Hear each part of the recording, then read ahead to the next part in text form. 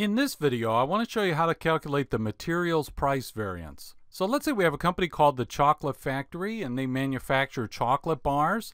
And so they've got some standards that have been set by management. They believe that they should pay $10 per pound when they're acquiring chocolate and that they should use 0.05 pounds to make one chocolate bar. Okay, so those are the standards that have been set by the company. In terms of the actual operating results for the period, the company paid $48,000 to acquire 4,000 pounds of chocolate, and then let's just say they used 100% of that chocolate, all 4,000 pounds, in order to make 60,000 chocolate bars. Now, we don't need all this information to calculate the price variance. Some of it we're going to use to calculate the quantity variance, which we'll do in the next video, but let's just focus on the price.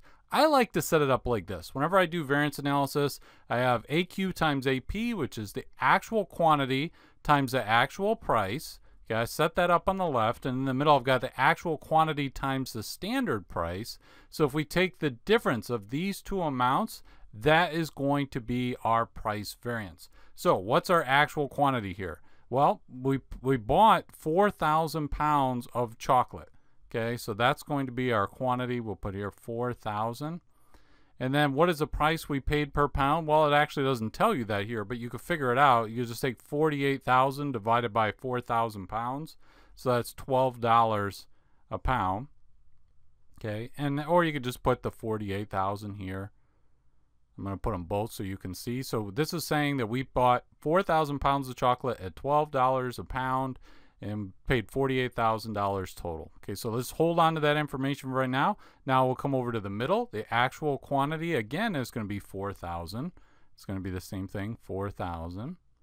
But now we multiply it by the standard price. So what is the standard price that we should be paying for a pound of chocolate? Well, $10.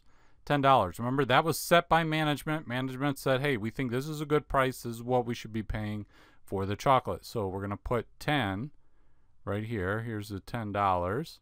And so that's going to come to $40,000 if we multiply the 4,000 by the 10. Okay, all I'm doing is just multiplication there.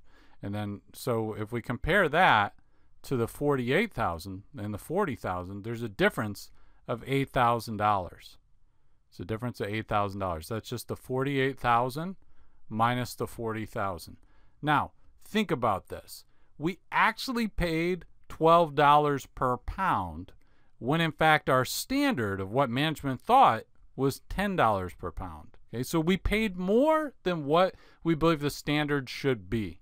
So we will call that an unfavorable price variance. So I'm going to put a little U here. This is an unfavorable variance of $8,000, unfavorable price variance. So that might indicate maybe we should go and talk to the purchasing manager and say, hey, why was it that we ended up paying a lot more than what we believe was our standard rate to acquire this chocolate?